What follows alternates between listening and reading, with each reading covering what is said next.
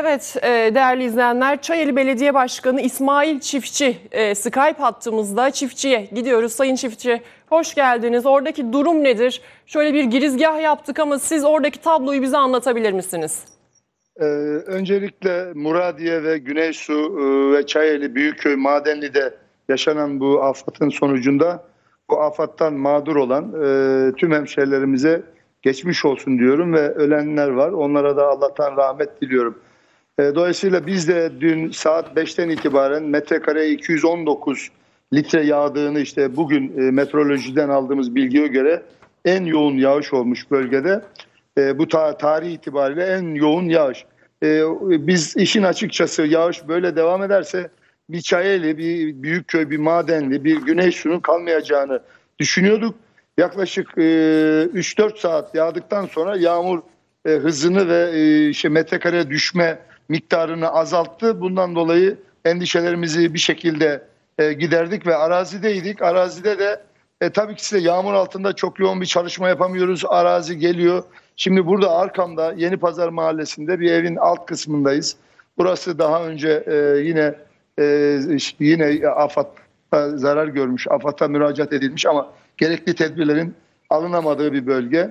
E şimdi e, zaman zaman e, Türkiye kamuoyunda Karadeniz'i ve Karadeniz insanını eleştiriyorlar. İşte dere kenarında ev yapıyoruz veya işte bu yamaçlarda ev yapıyoruz ama e, e, hepimiz biliyoruz ki içinde yaşadığımız coğrafya artık bizim bir kaderimizdir. Yani dolayısıyla biz bu yamaçlarda ve bu dere kenarlarında ev yapmak durumundayız yani ama tabii kisiyle yetkililer işte ben bir belediye başkanıyım ben de dahil olmak üzere kamuyu yönetenler e, bu yamaçlarda veya bu dere kenarlarında doğru evleri nerede yapmalıyız konusunda bize destek vermeleri lazım. Gerekirse bunlarla ilgili ön çalışmalar yapıp yani İlbank gibi yani Çevre Şehircilik Bakanlığı gibi üst düzey kurumlar bu yerleşim alanları ile ilgili jeolojik çalışmalar yapıp evet sizin kaderiniz burası burada yaşayacaksınız ama burada burada yaşayacaksınız şeklinde bir bilgi bir şeyi bize aktarmaları lazım. Bu konuda aynı zamanda hemşehrilerimizi de ikna etmemiz lazım. Yani başka yani işin açıkçası çok geniş alanlar olmadığı için Karadeniz'de e, çocuk sayısı fazla ve arazi kıt olduğu için ve artık her bir çocuk kendi baba ve ata toprağında ev yapmak istediği için e, eskilerin yapmış olduğu o evden evle birlikte başka evler de bölgeye yapılıyor ve eskisi kadar dikkat edilemiyor. İşte sonuç yeni yapılan bir ev ve e, yapılan evin altı kopmuş. İşte dün gece itibariyle arkadaşlarımız geldi. Muhtarımız burada. Bize muhtarımız e, muhtarımız da şey yapıyor gösterelim. Muhtarımız burada. Gece buranın ihbarını verdi. Dedi ki e, ev gidiyor, e, yol kapalı. Hemen gece gelip müdahalemizi ettik. Yolu açtık ve e, e, bu alanda e, şimdi önümüzdeki süreçte buradaki e, kopan e, bu arazi ve tehdit, ev, ev tehdidi altında bu evi kurtarmanın çalışmalarını yapacağız. İşte bazı yerlerde gittiğimizde de dere içlerinde evler var. İşte bu evler dereye ne kadar mesafede yakın olacak? İşte bunları belirleyip buralarda yerleşimler yapmamız lazım. Ama bir şekilde insanımızın çok fazla alternatifi olmadığı için, geniş büyük araziler olmadığı için bu coğrafyada yaşamak durumundalar. Yani bölge insanını suçlayarak yani orada ev yapılır mı, bu dere kenarında olur mu diyerek bir çözüme giremeyiz. Çünkü başka yerimiz yok. Olan bu. Burada en düzgün evleri en güzel yerlerde yapıp bu bölgeye sahip çıkacağız. Karadeniz insanı vatanını seven insandır. Büyük şehirlerde çok başarılı insanlarımız var ama bu coğrafyayla irtibatını koparmak istemiyorlar.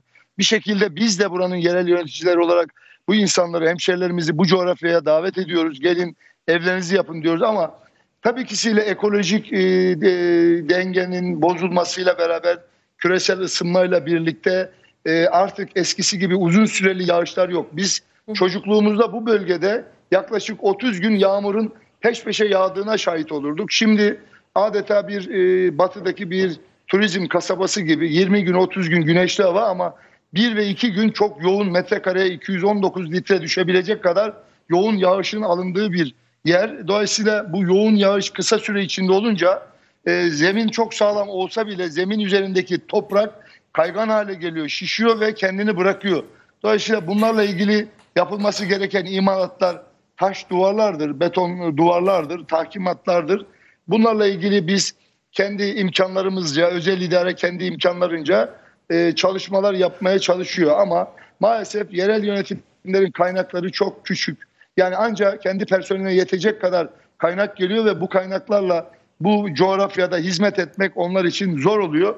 Biz bizden önceki yerel yönetimde görev yapmış arkadaşların bırakmış olduğu e, o e, eserlerin üzerine özellikle ben bu heyelan bölgesine son yaklaşık bir yıldır e, çok ciddi bir duvar çalışması yaptım. Çünkü buralarda yapabileceğimiz duvarlar e, işte bizim bu afatı önlemeyle ilgili en büyük e, şeyimiz çalışmamız olacak. Şimdi aile oradan bizi izliyor. Dolayısıyla onlar daha önce burayla ilgili duvar talebinde bulunmuşlar. Yani burada duvar olsa e, e, AFAD'a müracaatta bulunmuşlar. E, burada duvar olsa bu heyelan olmazdı. İşte tabii duvar maliyetlerinin yüksekliği ve birçok yerde olması ister istemez e, bu heyelanları ve e, biz de kendi planlamalarımızı yaparken yani yaklaşık bir yıl önce bir afat yaşadık. Bir yıl sonra henüz e, bunları yani AFAD'ın büyük kısmını sarıp mahallelerde hızlı bir şekilde duvar yapmaya başlarken yeniden bir afatla karşılaştık. İnşallah devlet, millet el ele vererek e, bu hemşehrilerimizin burada yaralarını sarmaya çalışacağız. E, birçok bölgemizde, ilçemizin birçok mahallesinde e, maalesef e, ciddi hasarlar var. Özellikle altyapı hasarları var. Yağmurlar e, arazi engebeli olduğu için yağmur sularıyla beraber malzeme taşıyor. Biz bu malzemeye rüsubat diyoruz.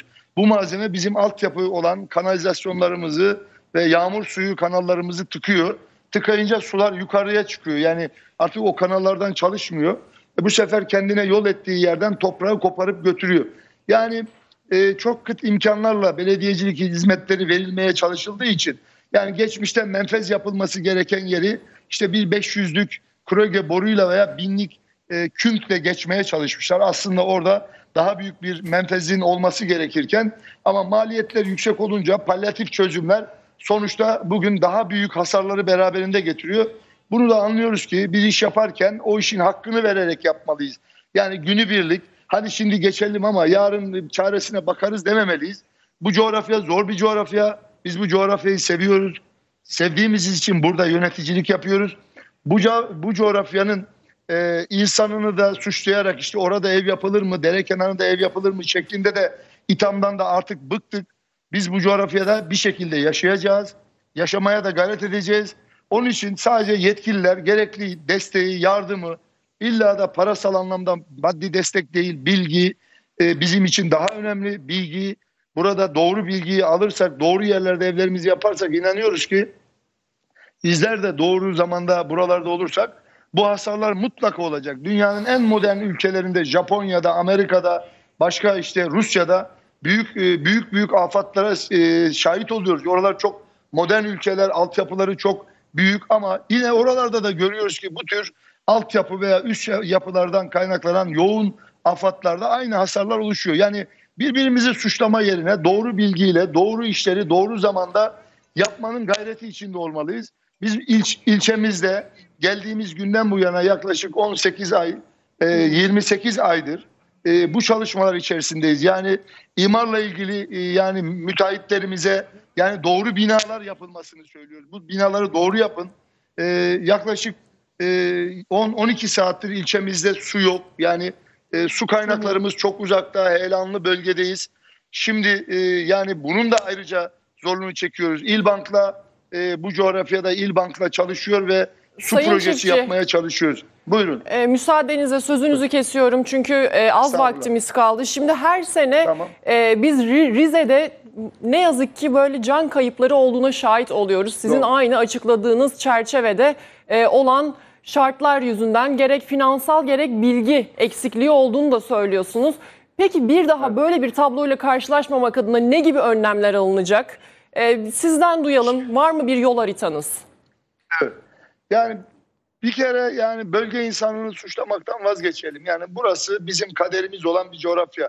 Burayı seviyoruz, burada yaşamak istiyoruz.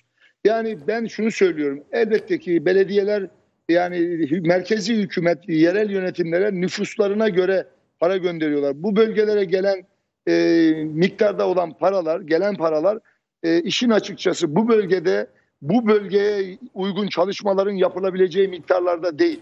Yani sadece bölgede personeline, belediyelerin, yerel yönetimlerin kendi personellerine verebilecekleri miktarda paralar. Yani bu bölgenin kendi e, şeyini yani jeolojik yapısını dikkate alarak burada e, buraya uygun e, miktarlarda bu imalatları yapabileceğimiz miktarlarda bu çözümlemeleri ortaya koyacağımız miktarlarda e, İlbank hesaplarından bizlere para göndermeli ki biz veya AFAD veya özel idare bu konularda buradaki hemşehrilerimize yardımcı olsunlar. Yani burada sadece bu evlerini yapan hemşehrilerimizi suçlamak bir haksızlık olur.